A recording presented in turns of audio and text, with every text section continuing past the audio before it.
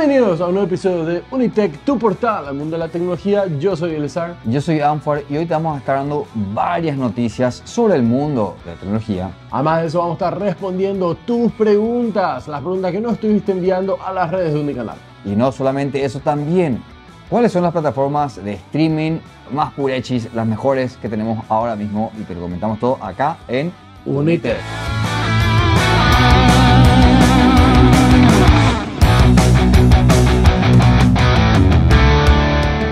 Hoy en día hay muchísimas opciones para lo que sería el entretenimiento digital, ¿verdad? Eh, ya no estamos limitados solamente a lo que sería TV, cuando queremos ver películas, divertirnos, sino que el Internet nos abre realmente una infinidad de posibilidades. Totalmente, y no estamos hablando solamente para ustedes, los chicos que están por lo general robando o bajando películas fraudulentas, sino que estamos hablando realmente de la forma legit, la forma en la cual se deben hacer las cosas. Así mismo. Ahora, no vamos a estar hablando de todas las plataformas de streaming, que sería como Kicks, Twitch, eh, YouTube Gaming, YouTube Live y demás.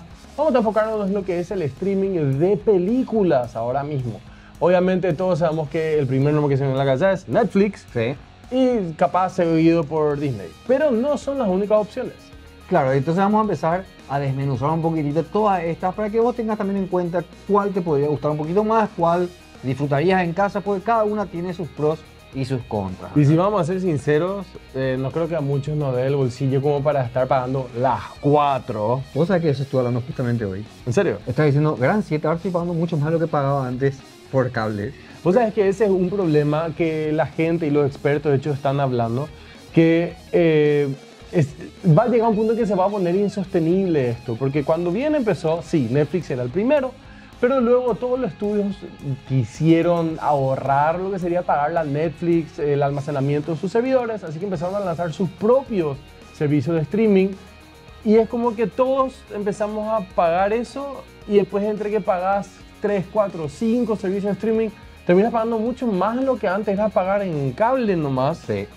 Y disfrutar de todo ese cine, cine ¿cómo se llama? Sí. Cine Plus. ¿Cómo se llama el que era cam- No me acuerdo, hace muchísimo tiempo. No tengo idea que me estás Cine Canal, gracias producción. ¿Ves? Cine Canal, por ejemplo, era uno de los clásicos para ver películas. Empezamos a meter publicidad como loco, sobre Sí. totalmente aburrido. Además, HBO mismo también era otro Un para ver las mejores películas, que se venía con el plan un poco más caro, pero hoy en día estamos pagando más. Y sí, así que hay que, hay que hablar bien y hay que decir, ok, ¿cuál de estos, o sea, cuál es la diferencia entre todos ellos, eh, tanto económica como en servicio, para ver con cuál nos quedamos? Para empezar vamos a hablar de cuatro eh, plataformas de streaming. Netflix, Disney, que viene con, con Star, HBO Max y lo que sería Amazon Prime. Para todo lo que estén pensando en casa ahora mismo, ¿cuánto cuesta tener estos cuatro? Solamente estos cuatro. Sí. Si, si pagas el plan más caro de, de Netflix, que son 14 dólares, si pagas los 8 dólares de Disney, si pagas los 15 dólares de HBO y los 9 dólares de Amazon Prime, vas a estar gastando 331.200 guaraníes por mes. Muchísimo más caro que simplemente un servicio Sí. de cable, ¿verdad? Ahora, Pero tiene sus beneficios. tiene su beneficio, lo cual le vamos a hablar ahora también. Pero igual, es como para que puedan pensar y decidir con cuál se quieren quedar. Ahora, hay otros servicios, ¿verdad? Está lo que sería Apple TV, está Hulu, está Paramount. Eh, Hulu es uno que no se puede acceder acá en el país. Eh, Apple ahora ya se puede acceder. Paramount parece que también ya se puede. Pero nosotros vamos a estar hablando de los cuatro más grandes. Sí. Si bien Apple es un poco grande, eh, digamos que... No, no se embarcó bien en Paraguay todavía. Exacto, no embarcó. grande lo que sería en Estados Unidos, Claro. igual que iPhone y demás, pero internacionalmente es como que no les importa mucho el mercado internacional, parece. Claro, lo que pasa también es que muchas series son hechas con figuras allá de repente y son así de car, Carpool Karaoke, por ejemplo, que hacía con este famoso Sí. talk show. Entonces, vamos a hablar primero de las ventajas. Las ventajas que tienen estos cuatro servicios claramente es que no vas a tener ningún tipo de publicidad, al menos no con este pago que te acabamos de decir, que es el más alto. No vas a tener ningún tipo de publicidad, ver una película, ves la película de principio a fin y te olvidas de realmente eh, pensar en, ay, eh, no me puedo levantar, no me puedo, o sea, esa es la parte que te ofrece cualquier tipo de streaming, ¿verdad? Poder claro. ver cuando quieras. Claro, ahora lo negativo obviamente sería de que eh, su contenido está justamente fragmentado. Así que vamos a empezar con el primero, el más popular de todos, que es Netflix. Netflix es el que arrancó toda esta locura del streaming que antes tenía todas las películas, ahora perdió muchas, por lo cual está invirtiendo mucho en su catálogo original. Ahora mismo entras en Netflix y realmente la mayoría de su catálogo son series y películas originales Sí. hoy en día, que sí, son buenas. Exacto. o sea, Dependiendo de cuál. Sí, o sea, tienen buena calidad de producción, digamos, pero de contenido de calidad que da gusto ver.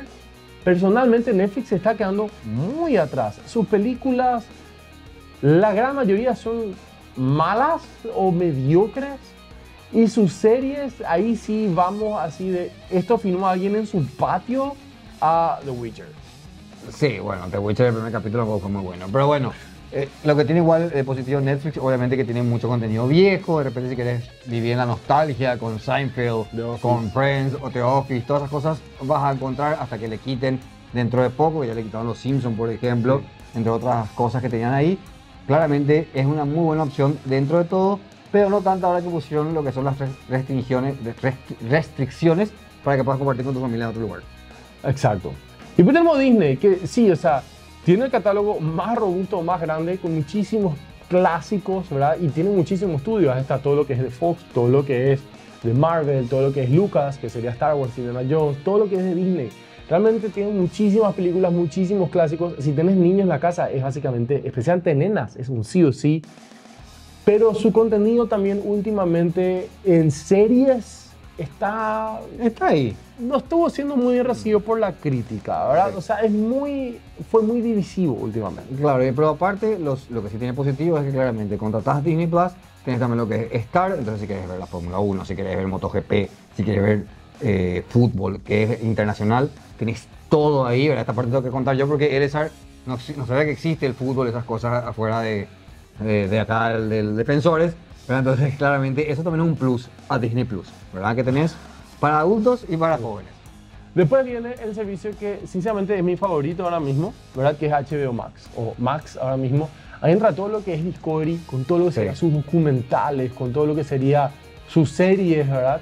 Aparte de eso, está todo lo que es el catálogo que uno diría, bueno, pero ¿qué es lo que tanto HBO hace? No, no solamente HBO que tiene series impresionantes como Juego de Tronos y demás, sino que también es todo lo que sería Warner Brothers Sí. está ahí. Y los estudios de Warner Brothers, que es gigantesco. Y encima tiene alianza con Sony. O sea que están todas las películas de Sony también.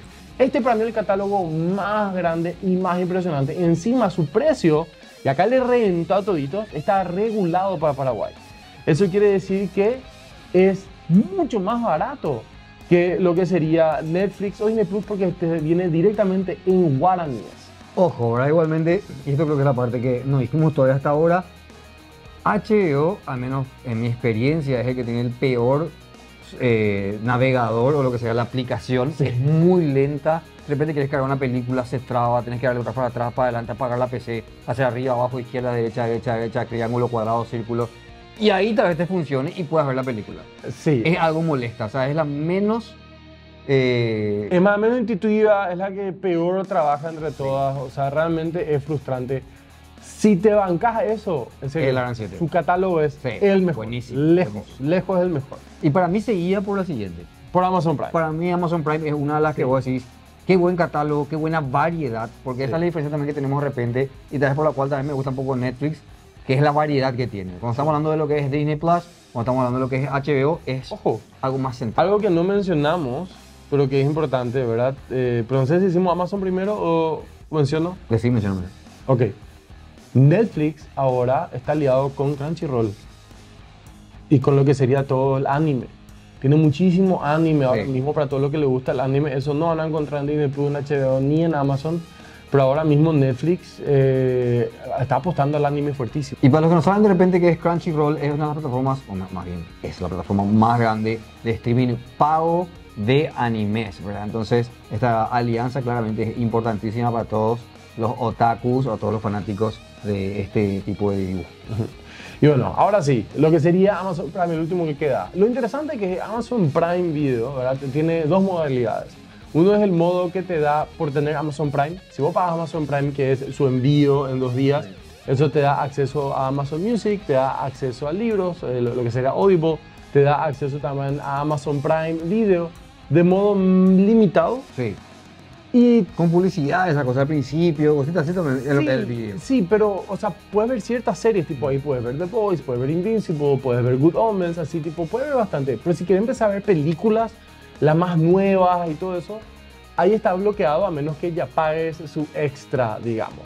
Ahora, una vez que pagas, tiene, eh, o sea, como no es un estudio propio, tiene un catálogo gigantesco porque tiene muchísimas asociaciones con muchísimos estudios, ¿verdad? Que Amazon les paga básicamente regalías para que ellos estén. Eh, y aparte de eso, algo muy interesante es de que eh, es el único que cuando vos pones pausa te dice qué actores están saliendo en la escena, de dónde salieron, o sea, te da muchos datos. Ojo, The Legend of Vox Machina está ahí. Sí, y eso que acaba de decir es algo que muy pocas aplicaciones te dan realmente. Ninguna. La aplicación es un poco lenta, igual. Si llamamos comparativa, al menos para mí es Netflix es claramente la superior. Disney es otra que también funciona bastante bien. Y después Amazon Prime está levemente por arriba de lo que sería HBO Max, que para mí es la peor. Esperaba que con la compra de Discovery Sí. hubiera mejorado, pero no mejoró tanto realmente. Pero sí, como decía él, esa es la única que tiene esto de que vos pausás una parte y ahí te sale cuál es el actor y cuál sería también el personaje que está interpretando. Realmente los cuatro son buenos, eh, de- depende mucho de qué es lo que más te gusta ver. Un tip que te damos es eh, rotar. O sea, tipo, comprar uno un mes, otro otro mes, otro otro mes para ir probando cuál te guste. O no sé si quieres romper tu chanchito y bancarte los cuatro un mes y ahí elegir. Sí, romper el chanchito, ¿verdad? Sí. Y ahí, o sea, y ahí elegí, ah, no, ¿sabes qué? A- al final, eh, en este mes no usé Amazon Prime ni una sola vez y dejas. Ojo, otro tip muy interesante es, si hay series que te gustan solamente, por ejemplo, Amazon Prime, aún no te importa Invincible, pero te gusta The Voice, entonces cuando sale The Voice, pagas un mes, ves todo, chao. Ya está.